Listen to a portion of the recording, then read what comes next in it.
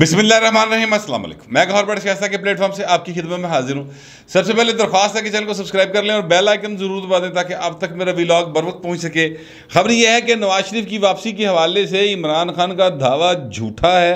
इसके हवाले से मेरे पास एक्सक्लूसिव तफसीत हैं। राइट फ्राम लंडन वो क्या मामला है, इस पर बात करेंगे। लेकिन इससे पहले मैं आपसे अर्ज़ करूँ कि पंजाब और वफाक के दरमियान टसल पायन बड़ी बढ़ गई है और दोनों तरफ़ से ऐलानात जो हैं वो बता रहे हैं कि पंजाब गवर्नर आज लगे लगे। ये एक अजीब सूरत हाल पैदा हो जाएगी अगर गवर्नर आज लगता है और इसके बाद फिर आ, मेरे अज़ीज़ हमवतनों की आवाज़ जी ना वो नेड़े करके बच सकती है यानी उसका टाइम नज़दीक आता चला जाएगा। लेकिन इमरान खान जो हैं वो किसी भी सूरत महाजराई से बाज आते दिखाई नहीं दे रहे। देखें जो हैं अपना प्रेजलाई साहब वो मैं आपको पहले ही बता चुका हूँ कि उनका मजाज नहीं है कि वो इंतकाम की तरफ़ जाएँ, लेकिन इमरान खान की तरफ़ से प्रेशर इतना ज़्यादा है उनके ऊपर कि वो इस तरह के इकदाम करने पर मजबूर हुए हुए हैं। और जो इससे बचने के लिए उन्होंने एक तरीक़ेकार अख्तियार करने की कोशिश की थी, उधरों पाए ना, ये ठंडी हवा नहीं आई। ज़ाहिर है वो तरीक़ेकार यही था कि जनाब आप जो है अपना चौधरी शुजात सैन उनसे बात बूत करके ते नून लीग और जरदारी साहब ने गल करके ते उन्होंने पास वजीरला बन देन अगर तरीके इंसाफ जो है वो तरीके अदम अतमाल लाने की कोशिश भी करती है तो उधरले पास वजीरला हो जाएँगे तो गल मुक जाएगी लेकिन अभी वो इतनी जल्दी मुमकिन दिखाई नहीं दे रहा कोशिशें वैसे जारी हैं मेरे ज़राए के मुताबिक अब मामला ये है कि परवेज लाई साहब जो हैं उन पर प्रेशर ये है पी टी आई की जानब से कि जनाब अताल्ला तारड़ हुए राना सनाउल्ला हुए ये जो हैं अपना राना मशहूद हुए तक अहमद खान हुए इन्हों गिरफ़्तार करो कुछ हो जाए इन्हों फड़ो और पचपन एसपी और डीएसपी जो हैं वो तब्दील कर दिए गए हैं ये सारा काम जो है ये किसने करवाया इमरान खान ने करवाया जमान पार्क के मकान के अंदर बैठ के परेज लई साहब ने फैसल शाहकार जो कि आई जी पंजाब है, उनके ज़रिए ये काम करवाया गया और इससे एक ज़ाहिर है, जहाँ पर पुलिस के अंदर एक अनरेस्ट मौजूद है कि जनाब पच्चीस मई को जो हुक्मरान थे, असी उन्होंने गल मनी ज़ाहिर है, हम उनके ताबे थे, हमने उनकी बात मनी अब जो आप कह रहे हैं ਅਸੀਂ लेकिन ਗੱਲ ਮੰਨ ਲੈਂਦੇ ਲੇਕਿਨ ਤੁਸੀਂ ਸਾਨੂੰ ਤੇ ਨਾ ਰਗੜੋ ਵਿੱਚ ਦੋਵਾਂ ਪਾਸੇ ना। ਅਸੀਂ ਰਗੜੇਗੇ ना एस एच ओ है। उसकी कितनवा ग्रेड होता होगा? तेरहवा चौदह पंद्रवा ग्रेड होता होगा। वो उस ग्रेड का बंदा जड़ा उस बेचारे की की हैसीयत है कि अगर उसको सी सी पी ओ कहे या उसको सी एम की तरफ़ से ऑर्डर हो कि जनाब आपने फला जगह पर रेड करनी है, मसल चले, महमूद रशीद साहब पे रेड करनी है, ठीक है, फ़र्ज़ कर लेते हैं तो उनको आप पकड़ लें। तो ये कैसे मुमकिन है कि बेचारा रेड ना करे? वो तो करेगा, उसने नौकरी करनी वरना तबादला है पंजाब पुलिस है, और पंजाब पुलिस में तबादला जरा ना, वो डी जी खान की खीरली नुक्कर तिकर हो सकता है। लिहाजा वो अपनी पोस्टिंग बचाने के लिए ये काम करेगा। अब उन्होंने ये काम किए। अब जो है, ये मौजूदा हुकूमत जो है, ये एस एच एस को उस हुक्म के मानने के ऊपर उनके खिलाफ कार्रवाई कर रही है। हालाँकि तब भी मुकदमा दर्ज थे। एक सौ चौतालीस की खिलाफ वर्जी हो रही थी, जो कि यासमिन राशि साहबा और दीगर लोग, यानी सड़कों के ऊपर आए हुए थे। दफ़ा एक सौ चौतालीस लगे हुए कानूनी एक तरीक़ेकार है।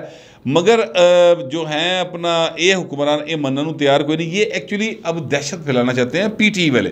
इसमें याद रखिएगा कि प्रवेश लाई साहब का रोल जो है ना, वो बहुत एक माठा सा रोल है। यानी उसमें उनका कोई इतना अहम रोल नहीं है। बड़का वो मार रहे हैं कि राणा सनाउल्ला तेन फांसी होनी चाहिए तू जेल ही जाएगा, इस तरह की बातें वो कर रहे हैं। लेकिन वो दिल से ऐसा नहीं चाहते। मैं ये बात इसलिए नहीं कह रहा कि मैं मतलब उनको उन्हें दिल्ली च बड़े हाँ ज़ाहिर भेद तो रब ही जानता है, लेकिन मैं इसलिए कह रहा हूँ कि माजी में हमने देखा है कि जब वो पहले वज़ीर अला पंजाब थे तो उस वक्त भी उन पर परवेज़ मुशरफ साहब की तरफ़ से या दिगर लोगों की तरफ़ से जितना मर्ज़ी प्रेशर आता था, वो प्रेशर सस्टेन करते थे और हमजा शहबाज शरीफ को उन्होंने कुछ नहीं, हाथ नहीं लगा देता सी ये हम इस बात की गवाह हैं। फिर जब वो स्पीकर थे तो स्पीकर होते हुए भी उन पर पीटीए की जानब से काफ़ी प्रेशर था कि इन्होंने साह नहीं लेन देना। लेकिन वो हमजा शहबाज शरीफ के प्रोडक्शन ऑर्डर जारी करते थे। तो ये उनका एक माजी का रोल था। अब का परेज दही अगर बदल गया तो बहुत हैरानी की बात है। हालाँकि तीन चार रोज़ पहले तक वो ये कह रहे थे कि मैं इंतकाम इंतकाम की सियासत पर यकीन नहीं रखता और मैं उनकी इस बात को तस्लीम करता हूँ कि माजी में उन्होंने ऐसी हरकत नहीं की, लेकिन हूँ पाए ना लाजरा डिफरेंट ने। अब वो दस वोटों के साथ वजीरला पंजाब है, यानी टोटल उनको अपने अपने समेत दस वोट ने। बाकी वोट जोड़े ने सारे के सारे, वो तरीके इंसाफ वालों ने। लिहाजा वो उनकी बात मानने पर मजबूर दिखाई दे रहे हैं। दूसरी तरफ़ जो है, वो ये है कि जनाब जो वफाकी हुकूमत है उसमें आप ये देखिए कि एक वफाकी वज़ीर है जवेद लतीफ़ साहब, मियाँ जवेद लतीफ़ साहब। मियाँ जवेद लतीफ़ साहब ने बाकायदा तौर पर उनकी एक फुटेज है जो वायरल हुई हुई है और ऐसे ही महसूस होता है कि ये कल की फुटेज है जो कि किसी जश्न आज़ादी की किसी तकरीब से वो ख़ताब कर रहे हैं किसी जगह के ऊपर। उस तक उस तकरीब में ख़ताब करते हुए मियाँ जवेद लतीफ़ साहब ये फरमा रहे हैं कि जनाब हम चीफ इलेक्शन कमीशन के फैसले के मुताबिक महमूद इमरान खान, असद उमर असद कैसर, ये वो इन सारे गिरफ़्तार करने जा रहे हैं। हम इनके साथ कोई रू रियायत नहीं करेंगे। अब दोनों तरफ़ से, यानी वफाकी हुकूमत की तरफ़ से ये बात आ रही है, और सूबाई हुकूमत की तरफ़ से वफाकी जो कैबिनेट के लोग हैं, यानी अताला तरड़ साहब, ये मलक अहमद खान साहब, ये जो हैं अपना राना सनाउल्ला साहब, ये वफाकी ज़ाहिर कैबिनेट का हिस्सा है। इनके खिलाफ छापे बजते पे ने। ऐसी सूरत हाल में अगर अगर फ़र्ज़ करते हैं को कोई एक बंदा भी, यानी जो है अपना राणा सन्नाउल्ला के घर छापा बज गया, फ़र्ज़ करते हैं, ठीक है? वैसे तो वो सऊदीया गए हैं, उम्र के लिए। या ये जो है अपना मलक अहमद खान साहब, इनको गिरफ़्तार करने की कोशिश की गई तो फिर वफाक के पास बड़ा आसान एक रास्ता आ जाएगा कि जनाब ये हालात हैं इस सूबे के, लिहाजा वो कौमी असम्बली से एक दर करारदाद पास करवाएँगे, उसके बाद उसे सेनेट से पास करवाएँगे और गवर्नर राज पंजाब के अंदर नाफज कर देंगे। अच्छा अब अगर गवर्नर राज पंजाब के अंदर नाफिज हो गया, सर तो वो जो एक आवाज़ आती होती है ना, मेरे अज़ीज़ हमवतनों वो पाकिस्तान के अंदर है, बड़ी बारी आई आवाज़, पाँच, छे बारी आवाज़ आई वाली।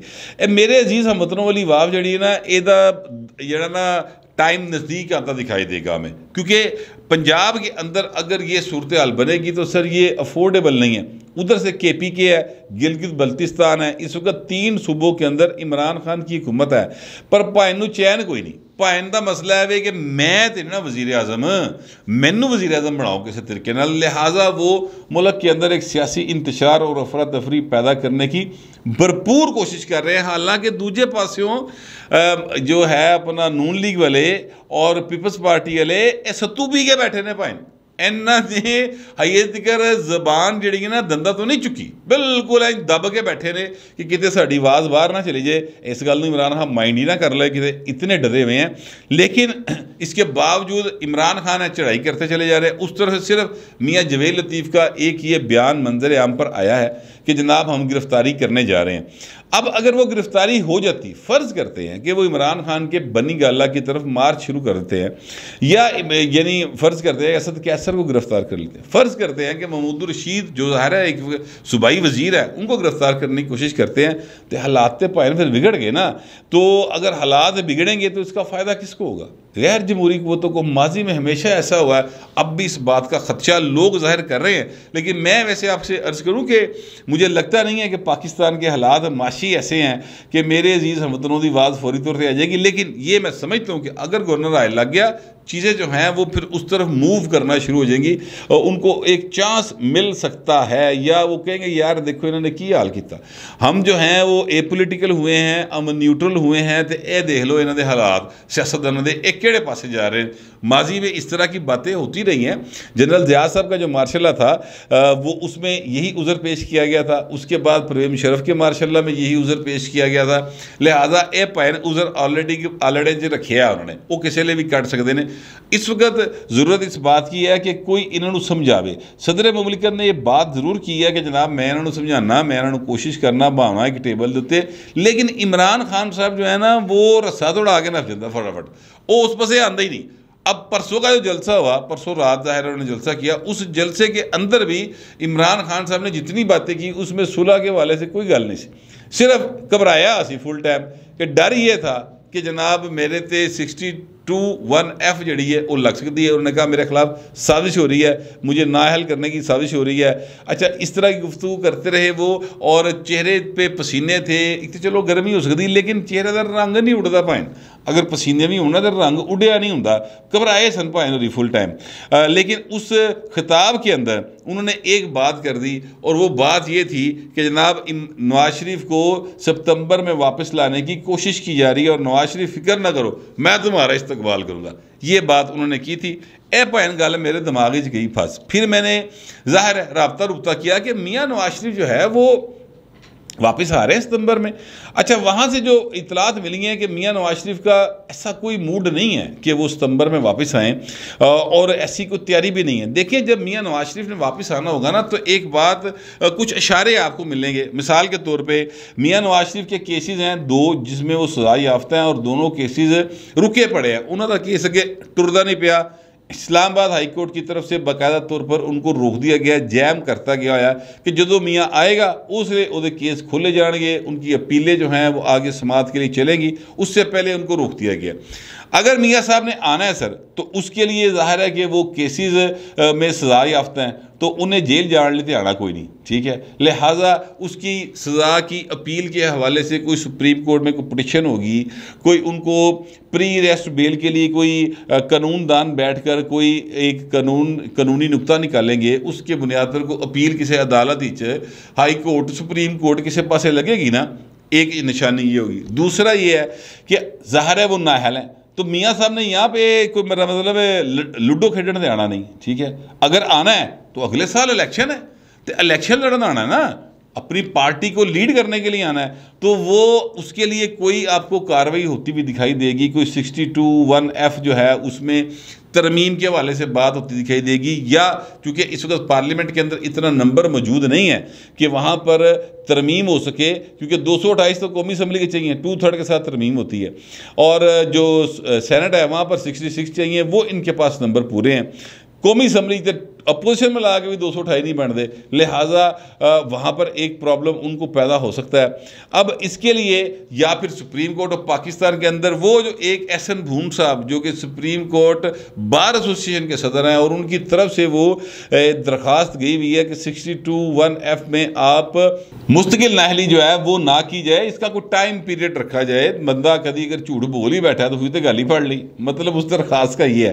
तो वो उस तरफ़ जो है, कोई आपको पेशकदमी दिखाई देगी अगर ये दोनों तीनों चीज़ें नहीं हो रही तो मियाँ नवाज जी लंदन पाने की प्रॉब्लम है चंगा मौसम है ਉਹਦੇ पोते पोतियां ਉਹਦੇ ਕੋਲ ने नवासा ਕੋਲ है ठीक है ਅੱਛੀਆਂ ਗੱਡੀਆਂ ने मज़ेदार खाने ने लोग जा जा के मियाँ साहब ने मिल के तस्वीर लवा रहे हैं मज़े कर रहे हैं की लोड़ है वापस आने की जब तक मियाँ साहब अपनी आप को एक पाकिस्तान के अंदर लीगली इलेक्शन लड़ने के अहल नहीं बनवा लेते तब तक मियाँ साहब वापस नहीं आएंगे ये एक बात आप जहन में रख लें दूसरा जो लंदन से मुझे ये इतला मिली कि मियाँ साहब सर सख्त गुस्से में बैठे हैं ਉਹ ਭੈਣ वापस आने तो दूर की गल है वो अपने छोटे से बड़े गुस्से से यानी मियाँ शवाज शरीफ साहब की होम्योपैथिक सियासत के ऊपर और होम्योपैथिक तर्ज हुक्मरानी के ऊपर वो गुस्से में है और साथ ही साथ उनको इतिहादी के ऊपर भी एक गुस्सा है एक रंज है एक सदमा है एक शिकवा है मेरा ख्याल है ये ज़्यादा मुनासिब लफ्ज़ है शिकवा उनको है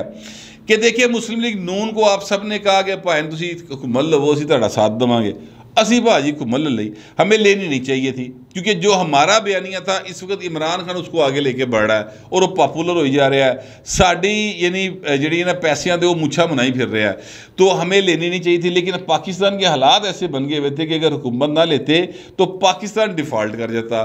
हमने पाकिस्तान की कास्ट के, जो है ना, पाकिस्तान को बचाने के लिए अपनी सियासत की कुर्बानी दी हुई है। चलें, वो तो दे दी। अब जब हालात बेहतरी की तरफ़ जा सकते हैं या जा रहे हैं इसमें इमरान खान जो खलल डाल रहा है तो इन्हें सारे ने मुँह के घूंगियाँ पा ली हैं ये बोलते ही कोई नहीं, ये जो जितने तादी हैं।